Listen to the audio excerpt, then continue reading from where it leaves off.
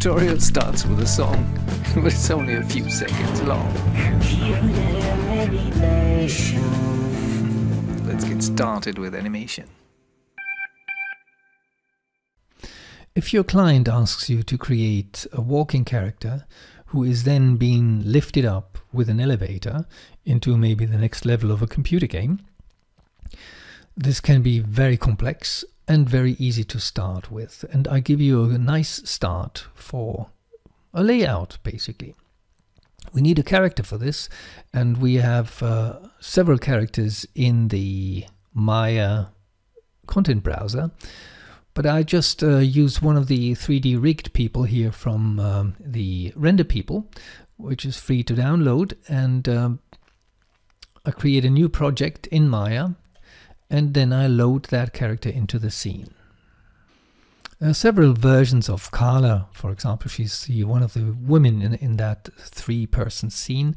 Uh, there are several versions, the V-Ray version, for example, uh, the non no control rig version. We need a control rig because we want to animate her. So I just um, open the HIK native Maya scene, which is a Maya ASCII scene, and I don't save what I have, I have nothing anyway, and then the character lands in the scene very big.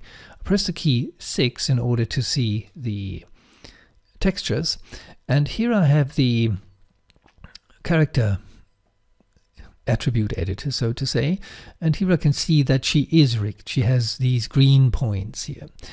Next thing I always need to do when I'm in character animation, I go to Windows and the settings preferences and the preferences in order to change the dimensions. They're in the middle here, settings, and I change them from centimeters to meters.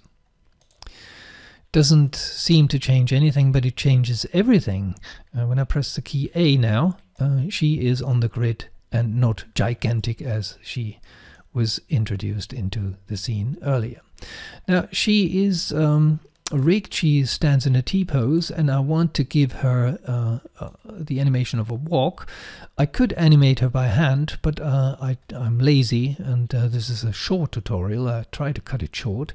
Uh, I go to Windows and um, you find in the general editors, the content browser, in later versions of um, Maya, you find the content browser right here, somewhere there. Uh, but I'm working with Maya 2020 currently, so uh, with the student edition, which will run out soon, I guess, I open the content browser. Here I have the prefab characters, which are built into Maya. They all come from the render people as well. And I go to the motion capture. Here I have FBX. And here I need to pick something where she will actually not run very fast. So I have a, a simple way to animate her before she's been lifted up or taken down by the lift. How about walk to stand? I double click this, it lands in the scene, it's that skeleton behind her. And now the thing is easy. By the way, if you don't have this attribute editor, you need to go to rigging, which is here. And under rigging, you find under skeleton the human IK. That's basically this part here. Uh, let's meditate briefly on uh, what we see here. We see a character which is Carla rigged. That's her. And we see as a source of her the skeleton inside of her, which controls her, is that control rig, which puts her in a T-pose, and it's not that animated walking and standing still skeleton. We can easily transfer this motion into to her by changing the source. We have none and we have the walk to stand one. Now she actually walks with that skeleton. This is an amazing and amazingly easy task, which was just not possible in, well, 10 years ago. And we're currently in summer 2022. Now um, I need a reference on the floor, so she actually walks on, well, for example, boxes. Let's go to polygon modeling and create a few boxes.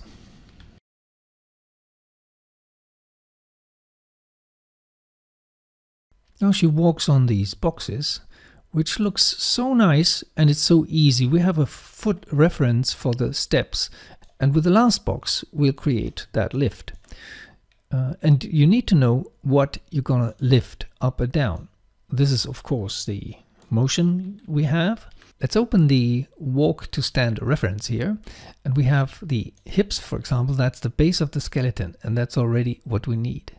That's the base of the, uh, the source skeleton the running character.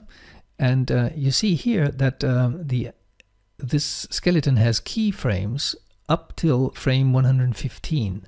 And when we extend the range, nothing happens here. This is the end of the of that animation. And right here we can now lift her down. Just let her stand here for uh, half a second or so. And uh, now I animate this skeleton plus the first cube and I set the keyframe by pressing S. Now I have a keyframe for both of them and then I go all the way to 200 and lift her up or down and set another keyframe with the key S. Now the whole animation looks like this. She walks and then she's been transported to the next level. That's all I wanted to show you today. Nice rendering, of course, needs good light. Have a nice day. Bye bye.